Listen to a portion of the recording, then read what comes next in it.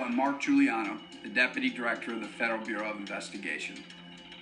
What you are about to see is the case file of a fugitive who is wanted by the FBI.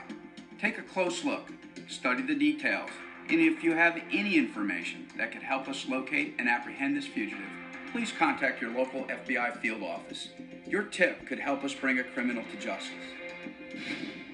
Roger Dale Parham is wanted for unlawful flight to avoid prosecution, rape, and failure to appear. On November 21st, 1998, Parham was arrested for rape involving a minor. He was subsequently released on bond with conditions by the Circuit Court of Sebastian County, Arkansas, Fort Smith District. Parham's bond was revoked after he failed to appear on the charge of rape. Parham is a 70 year old white American male with brown hair and blue eyes. He is 5 feet 10 inches tall and weighs 225 pounds.